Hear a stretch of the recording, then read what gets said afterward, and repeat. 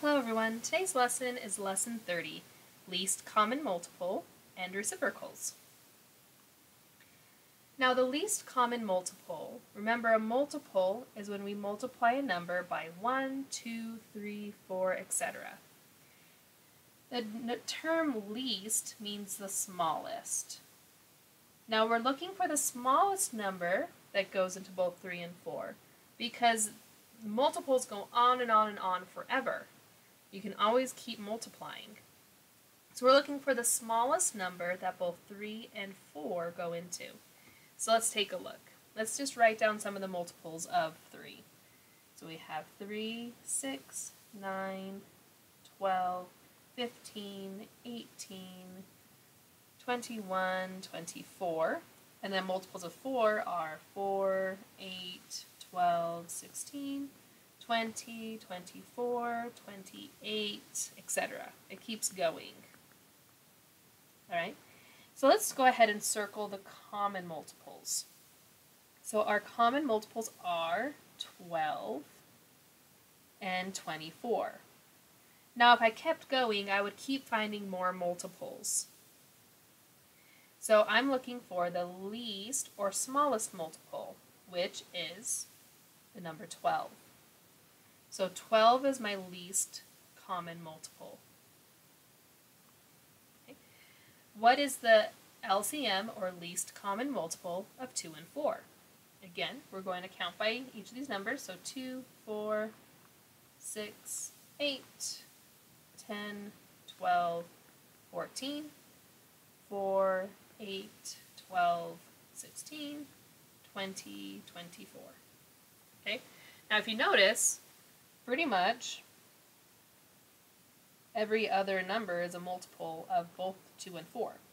But again, I'm looking for the least common multiple. So the smallest number that goes into both is the number 4.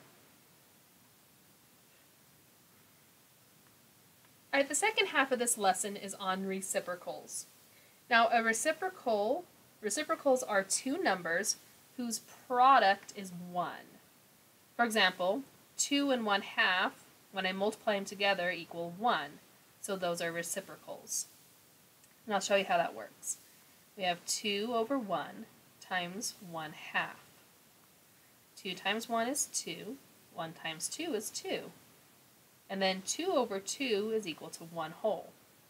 So reciprocals always equal 1.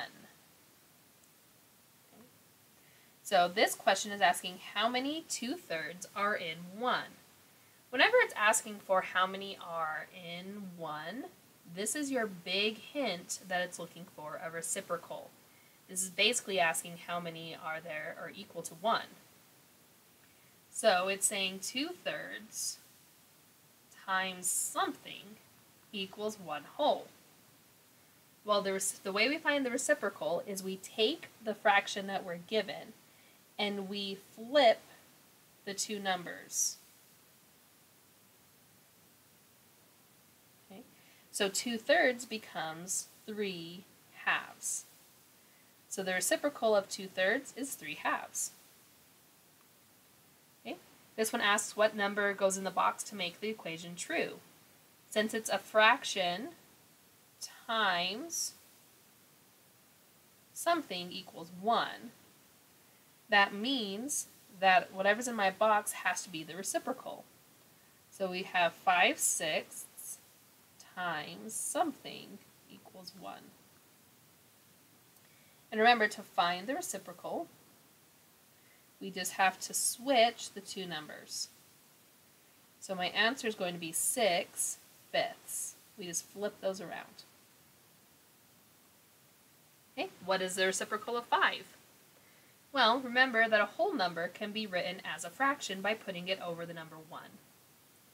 So to find the reciprocal, we just flip these two numbers. So the reciprocal of 5 is 1 fifth. Okay, and that's it for this lesson. Thanks for watching.